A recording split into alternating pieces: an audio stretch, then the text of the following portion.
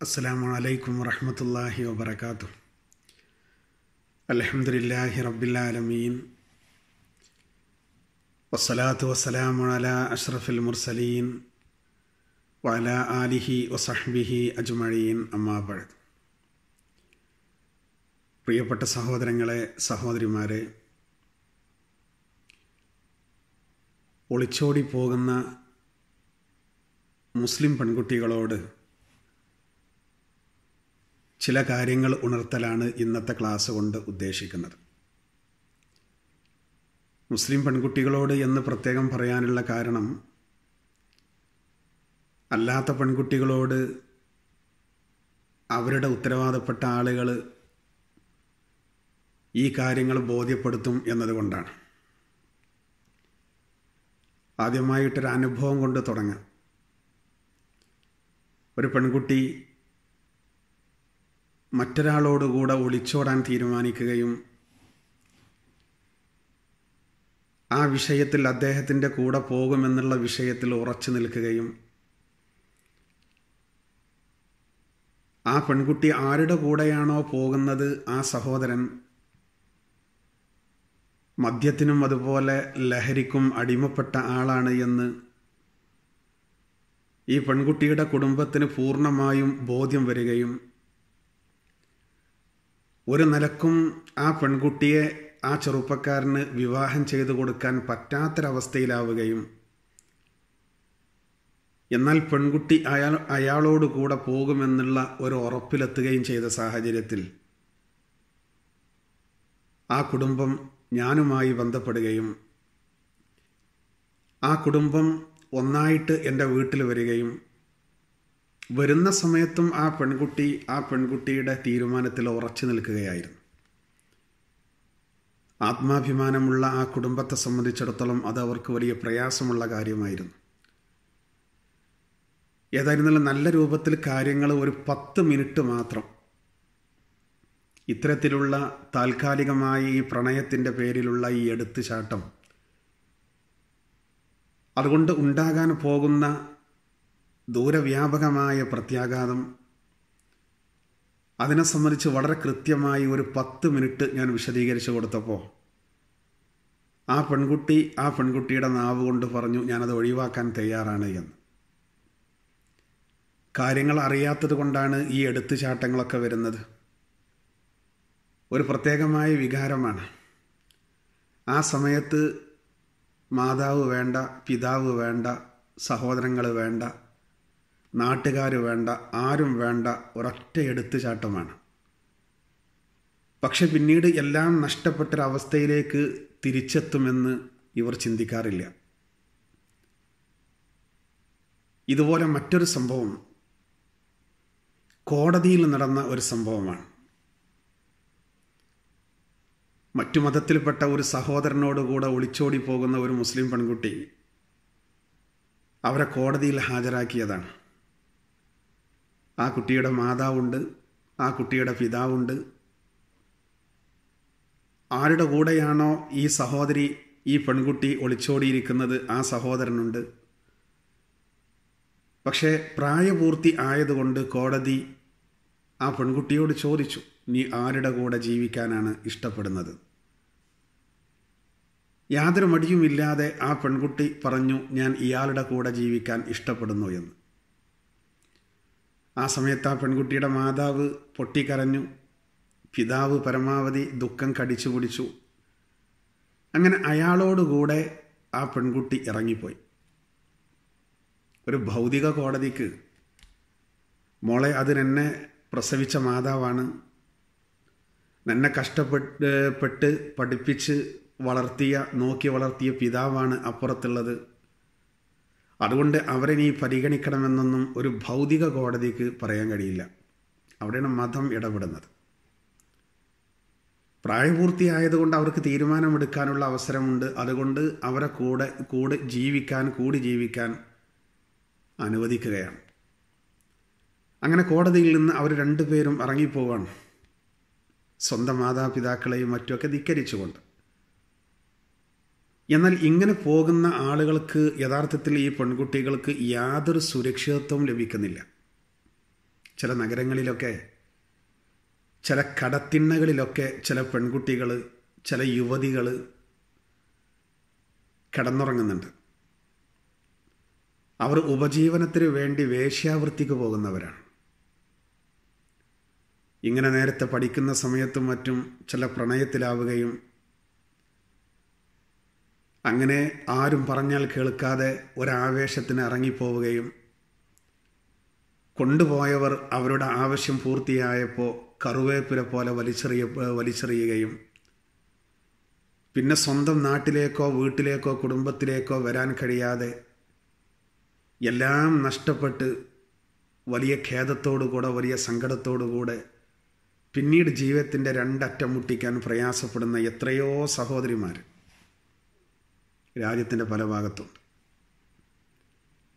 അങ്ങനെ വേശ്യാവൃത്തിയിലേക്കും മറ്റും പോകാനുള്ളൊരു കാരണം പോലും യഥാർത്ഥത്തിൽ അതാണ്. ഈ പ്രണയം എന്നൊക്കെ പറയുമ്പോൾ അത് ഒരു ആവേശമാണ് അതിന് നമ്മൾ സാധാരണ പറയാറുണ്ടല്ലോ പ്രണയത്തിന് പ്രേമത്തിന് കണ്ണും മൂക്കുമൊന്നും ഇല്ലയെന്ന് അതുകൊണ്ടാണ് പന്ത്രണ്ട് വയസ്സുള്ള പതിനഞ്ച് വയസ്സുള്ള ചെറുപ്പക്കാരൻ കുട്ടി നാൽപ്പത്തഞ്ച് വയസ്സുള്ള സഹോദരിയെ പ്രേമിക്കുന്നതും അവർ ഒളിച്ചോടി പോകുന്നതും ഇതൊക്കെ സാധാരണ ഇന്ന് നടക്കുന്നതാണ്. പ്രേമിച്ചു കഴിഞ്ഞാൽ ആ സന്ദർഭത്തിൽ അങ്ങനെയാണ്. ഒരാൾ മറ്റൊരാളെ പ്രേമിച്ച് മനസ്സിൽ നിന്ന് അത് ഇറക്കി വെക്കണം എന്ന് വിചാരിച്ചാണ് അയാൾ കടപ്പുറത്ത് പോയിരുന്നത്. ആ പ്രേമം ഇല്ലാതെയാക്കാൻ. പക്ഷെ കടലിന്റെ തിരമാല വരുമ്പോൾ ഓരോ തിരമാലയിലും അയാൾ ആ പെണ്ണിനെ കാണുകയാണ്. കടപ്പുറത്തുനിന്ന് എഴുന്നേറ്റ് പോന്നിട്ട് അദ്ദേഹം ഒരു മലന്റെ മുകളിൽ പോയി നിന്ന് മലയുടെ താഴ്ഭാഗത്തേക്ക് നോക്കുമ്പോൾ ഓരോ മരത്തിലേക്ക് നോക്കുമ്പോഴും അദ്ദേഹം തന്റെ കാമുകിയെ കാണുകയാണ്. ഇറക്കി വെക്കാൻ കഴിയുന്നില്ല എന്നുള്ളതാണ്. അങ്ങനെ തിരിച്ചും മറിച്ചൊക്കെ ഇത്തരത്തിലുള്ള സ്നേഹമുള്ളവരാണ് യഥാർത്ഥത്തിൽ പിന്നീട് ഈ മഹാ അബദ്ധത്തിലേക്ക് പോകുന്നത്. ഞാൻ ആദ്യം പറഞ്ഞല്ലോ ഒളിച്ചോടി പോകുന്ന മുസ്ലിം പെൺകുട്ടികളോട് എന്ന് പ്രത്യേകം പറയാനുള്ള കാരണം നമുക്ക് അവരെ ഉപദേശിക്കാനുള്ള അധികാരമുള്ളത്. അതുകൊണ്ടാണ് ഞാൻ അങ്ങനെ പറഞ്ഞത്. ഇസ്ലാമിന്റെ വിവാഹം എന്ന് പറയുന്നത് യഥാർത്ഥത്തിൽ ഒരു കുട്ടിക്കളിയല്ല. പ്രവാചകന്മാരൊക്കെ വിവാഹം ചെയ്ത് മാതൃക കാണിച്ചു തന്നു. സന്തോഷത്തോടുകൂടെ സമാധാനത്തോടുകൂടെ ഒരു കുടുംബജീവിതം ആ കുടുംബജീവിതത്തിന്റെ പ്രോത്ഘാടനം ഒരു നിക്കാഹിലൂടെ അത് നടക്കുന്നു. ഇന്നത്തെ പ്രത്യേക സാഹചര്യത്തിൽ പ്രത്യേകിച്ചും ഒരു പെണ്ണ് ഒരിക്കലും വഞ്ചിക്കപ്പെടാൻ പാടില്ല. ഒരു പെൺകുട്ടി ഒരിക്കലും വടിയാധാരമാകാൻ പാടില്ല. അതിനുള്ള എല്ലാ നിയമങ്ങളും എല്ലാ വ്യവസ്ഥിതികളും ഇന്ന് ഇസ്ലാമിൽ വളരെ കണിശമായിട്ട് പ്രത്യേകിച്ചൊരു വിവാഹത്തിലുണ്ട്. ഇന്നിപ്പോൾ ഒരു വിവാഹം നടക്കുമ്പോൾ വരനും വധുവും തമ്മിൽ ആ വിവാഹം നടക്കുന്ന സമയത്ത് ഇന്ന് വധുവിന്റെ മഹലിലെ പള്ളിയിലെ ഖാദിക്കായിരിക്കും അതിന്റെ ചുമതല. നിക്കാഹിന് കാർമ്മികത്വം വഹിക്കാനുള്ള ചുമതല. നമ്മളൊക്കെ ഇപ്പം അങ്ങനെ നിർവഹിച്ചു കൊടുക്കുന്നവരാണ്. പക്ഷെ അങ്ങനെ ഒരു നിക്കാഹിന് ഖാദിയും അതുപോലെ തന്നെ ആ മഹലിലെ ഉത്തരവാദപ്പെട്ട ആളുകളും എന്ത് പ്രശ്നങ്ങളും പറഞ്ഞു തീർക്കാൻ കഴിവുള്ള അഹ്ലുൽ ഹല്ലി വല്ല അഖദ് എന്ന് പറയും. അങ്ങനെയുള്ള ഉത്തരവാദപ്പെട്ട ഉമറാക്കൾ നേതാക്കന്മാർ നാട്ടിലെ കാരണവന്മാർ അവർ അങ്ങനെ നമ്മുടെ ഒരു മഹലിലെ ഒരു പെൺകുട്ടിയുടെ നിക്കാഹിന് കാർമ്മികത്വം വഹിക്കണമെങ്കിൽ ആ പെൺകുട്ടിയെ വിവാഹം ചെയ്യുന്ന ആ വരന്റെ മഹലിൽ നിന്ന് ആ വരനെ പറ്റിയുള്ള പൂർണമായ വിവരം കിട്ടിയെങ്കിൽ മാത്രമേ നിക്കാഹ് ചെയ്തു കൊടുക്കൂ. ഇന്ന് അങ്ങനെ നടക്കൂ. ഒരു പെൺകുട്ടിയുടെ വിവാഹം ഒരു കാളി ഒരു മഹലിലെ ഉത്തരവാദപ്പെട്ട ആളുകൾ ഔദ്യോഗികമായിട്ട് നടത്തി കൊടുക്കണമെങ്കിൽ അതിന് വരന്റെ നാട്ടിൽ നിന്ന് അവിടുത്തെ കമ്മിറ്റിയിൽ നിന്ന് മഹൽ ജമാഅത്തിൽ നിന്ന് ഔദ്യോഗികമായിട്ട് എഴുത്ത് കിട്ടണം. അതിൽ ആ വരനെ പറ്റിയുള്ള പരിപൂർണമായ വിവരങ്ങളുണ്ടാവും. അങ്ങനെ ഉത്തരവാദപ്പെട്ട ആളുകൾക്കിടയിൽ വെച്ചിട്ടാണ് നിക്കാഹ് നടക്കുന്നത്.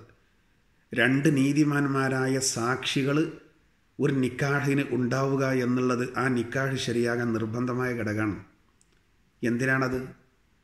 സ്വാഭാവികമായും മാനുഷികമായി അതിന്റെ ശേഷം എന്തെങ്കിലുമൊക്കെ പ്രശ്നങ്ങൾ പരസ്പരം വലിയ ഭിന്നിപ്പുകളും ഉണ്ടാവുകയാണെങ്കിൽ ഈ രണ്ട് മഹലിലെയും ഉത്തരവാദപ്പെട്ട ആളുകൾക്കും ഖാദിമാർക്കും ഒക്കെ ഒരുമിച്ച് കൂടിയിട്ട് ആ പ്രശ്നങ്ങൾക്ക് ഒരു തീർപ്പ് കൽപ്പിച്ച് തീർക്കാൻ പറ്റുന്നതാണെങ്കിൽ തീർപ്പ് കൽപ്പിച്ച് ഭൗതിക കോടതിയിലേക്ക് വിഷയമെത്തി. ഒരുപാട് കാലം കേസും കോടതിയുമായിട്ട് പോലീസും കോടതിയും പോലീസ് സ്റ്റേഷനുമായിട്ട് നടന്നെടുക്കുന്നതിനേക്കാൾ നല്ലത് അതിൽ ഇറങ്ങിത്തിരിക്കുന്നതിനേക്കാൾ നല്ലത് പ്രശ്നങ്ങൾ തീരലല്ലോ അതുകൊണ്ടാണ് സ്വാഭാവികമായിട്ടും മനുഷ്യന് ഇണക്കമുള്ളതുപോലെ പിണക്കവും ഉണ്ടാകാം. അതുകൊണ്ട് അത്തരം ഒരു പ്രശ്നം വരുമ്പോൾ ഉത്തരവാദപ്പെട്ട ആളുകൾക്ക് പരസ്പരം ബന്ധപ്പെടണമെങ്കിൽ ഈ രൂപത്തിൽ നിക്കാഹ് നടക്കണം. മാത്രമല്ല ചില പെണ്ണുകെട്ടി വീരന്മാരുണ്ടാവും നടന്ന് കെട്ടുന്നവരുണ്ടാവും. അവർക്കൊന്നും ഒരു ഇപ്പോൾ ഈ കാലഘട്ടത്തിൽ ഒരു സ്കോപ്പില്ല എന്താ കാരണം? ഒരാൾ എത്ര വിവാഹം കഴിച്ചു എന്നുള്ളത് യഥാർത്ഥത്തിൽ ആ മഹലിലെ ഔദ്യോഗിക രേഖ ഉണ്ടാവും. അപ്പോൾ നിക്കാഹിന് ഇത്തരത്തിലുള്ള നിബന്ധനകൾ ഉണ്ടാകുമ്പോൾ മഹല്ലുകൾ പരസ്പരം ബന്ധപ്പെടുമ്പോൾ ഒരു പെണ്ണും ചതിക്കപ്പെടില്ല.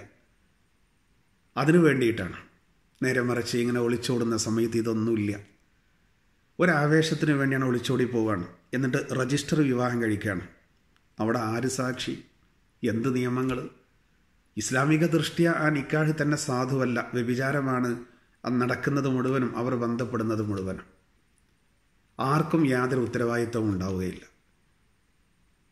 അങ്ങനെ ഒളിച്ചോടി പോകുന്ന പെൺകുട്ടികളൊക്കെ ഗർഭിണിയാകുമ്പോൾ അപ്പോഴാണ് അവർ ചിന്തിക്കുന്നത്.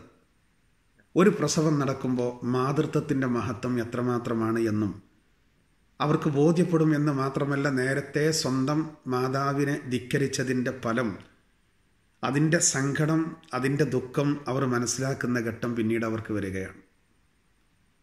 അതുകൊണ്ട് തന്നെ നമ്മൾ ഏറെ ശ്രദ്ധിക്കേണ്ടതാണ്. പ്രത്യേകിച്ച് ഇന്ന് എന്തൊക്കെ വാർത്തകളാണ് നമ്മൾ കേൾക്കുന്നത്?